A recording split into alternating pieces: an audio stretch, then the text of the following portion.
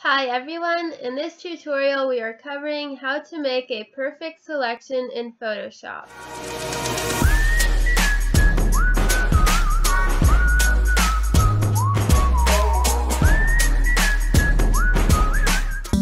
Here are three steps to make a perfect selection, using color range selection, then refining the edges, and working with the final result.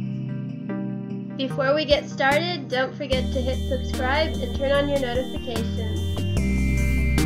Step 1. Color Range Selection.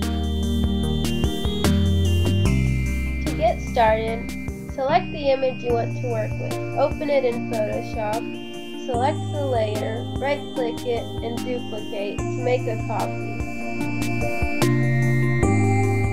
In this tutorial, the part of the image I will be selecting is the tree. Now go to Select and Color Range. Now that the color range window is open, you can select a color from your image using the eyedropper. So select a part of the sky behind the tree. As you can see in the preview, the sky has been selected we have to perfect this selection by including the parts of the sky that weren't included. To do this, increase the fuzziness. Move the cursor to find a satisfying value. When you are done, press OK. Now that we have selected the sky, we have to invert the selection because what we really want to select is the tree. So go to Select, Invert quick selection tool and uh, select the subtract from selection option and subtract the field part from the selection so all we have left is the tree and the trunk.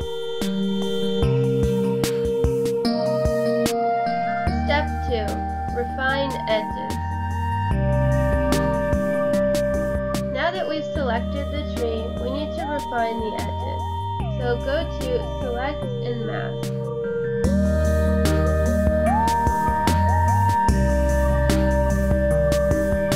Select the Zoom tool and zoom into your image. You can surely see that there are leaves and little details that need refined. Select and Mask is a powerful tool. It is able to improve considerably our selection. In the Properties panel, go to the View drop-down menu and select Overlay. This will create a quick mask with our selection. To add details to our selection, it's necessary to increase the contrast percentage and the shift edge percentage. Increase their values slowly in order to directly see the details that are being added.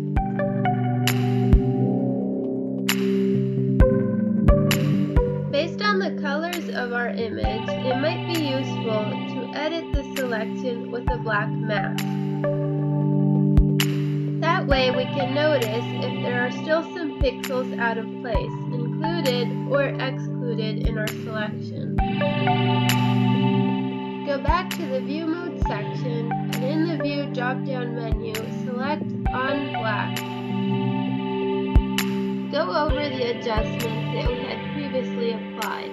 If necessary, modify them.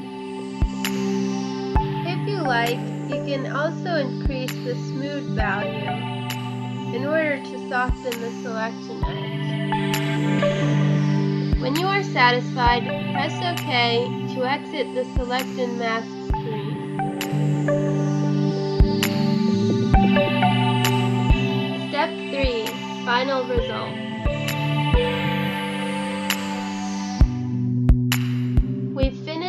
Selection. To admire the final result, add a layer mask to the tree layer with our selection and turn off the visibility of the layer below of the background layer. This way, we can see the result of our selection on a transparent background. At this point, we can use our new selection that we've made to add it onto a new image. I'm going to apply the layer mask to the tree selection, and then then drag it onto the new image I just opened.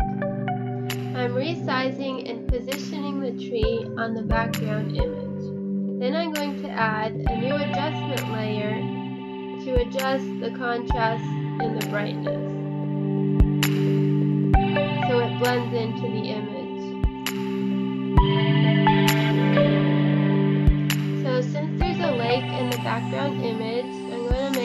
Reflection of the tree in the lake. So I'm going to duplicate the tree layer and then I'm going to flip it vertically and then I'm going to change the blending mode, reduce the opacity, and maybe blur it a little bit.